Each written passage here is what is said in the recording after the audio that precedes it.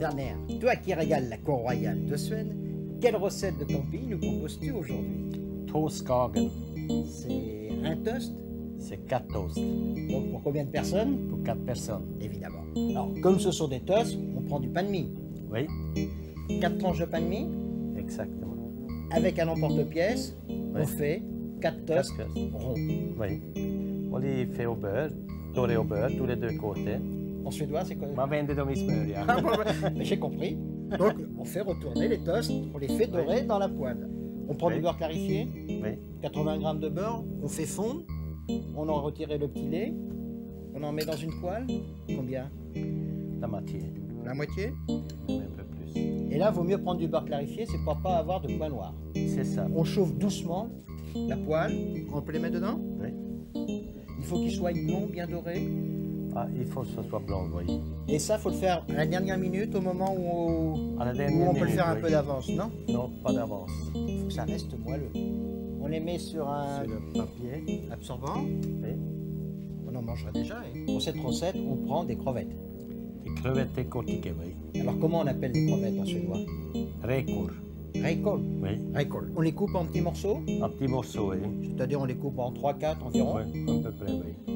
Et ensuite, on mélange avec la mayonnaise.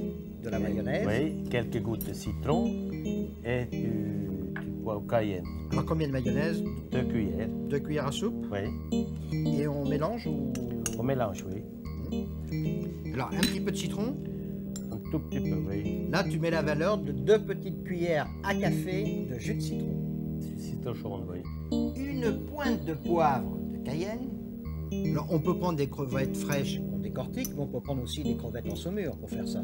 Ah oui, absolument. C'est plus facile, hein, c'est moins dur. Mais c'est quand même mieux avec les frais. Des fraîches. Ah oui.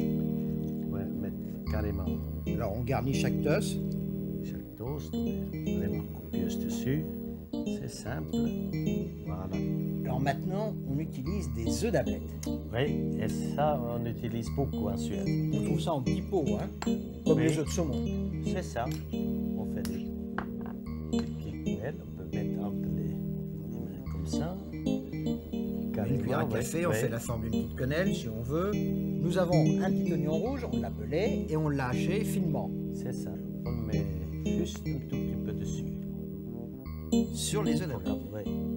Et ça se marie bien. Il n'y a pas de cuisine suédoise sans Annette. Ah non, ça c'est vrai. Mais en Suède, on dit Annette ou on dit Dill Non, C'est dill. Dill. hein. Dill, oui. Quand juste cœur avec Une petite feuille de laitue, une branche d'Annette. Mais ça, c'est pas uniquement pour la décoration, on le mange. On mange aussi, oui. Hein, c'est Oui, oui, c'est- c'est une garniture. c'est ça. Et on sert avec un peu de citron. Oui, il n'y en a pas tout le monde qui met dessus, mais c'est pas on mal le sur met les côté et ceux qui veulent Oui, prennent le citron. oui.